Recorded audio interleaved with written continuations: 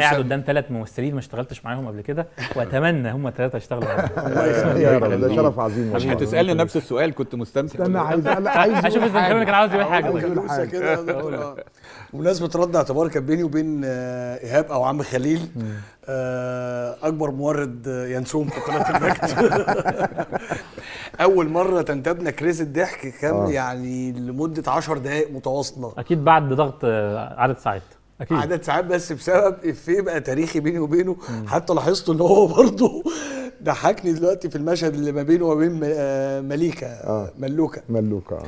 شخصية عم خليل هي شخصية هو حد لعبان جدا وشيطاني جدا إنما عامل بقى إن هو إيه رجل الحكمة والمثل وبتاع.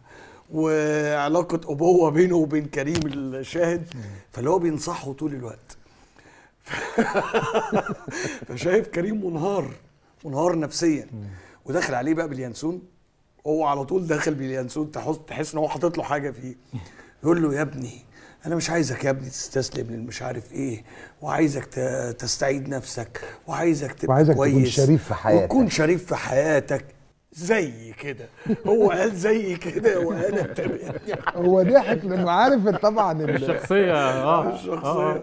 آه، كل ما يقول زي كده وأنا طبعا تبدأ سبحان الله حصلت معانا برضه في حاجة ولدي- جمالية. عايزك يا ولدي تكون شريف في حياتك. وعاك تكون أجل شرف, في شرف الشيء آه تكون شريف في حاجة. آه، و- وأجل وح- شرف في شيء. آه. زي كده. زي كده. محمد نصر. كان كان أحمد عامر بيلعب شخصية اسمها دحروج وكان حد نصاب وحرام وقتل قتلة فنصر آه، الناس جم يعني في ناس ضربوه كده فراح يمثل إن هو اتظلم فنصر بيقول له أنت بتعتدي على المواطن الشريف دحروج. فكل ما يجي يقولها إحنا نضحك. الناس تضحك والناس عارفة إنه مش, مش شريف ولا هو كان لسه بيقول لمليكة يا بنتي بيقول لها الرضا أهم الرضا. حاجة الرضا. بيقول لنا شخصية هارون عايز يبلع كل حاجة.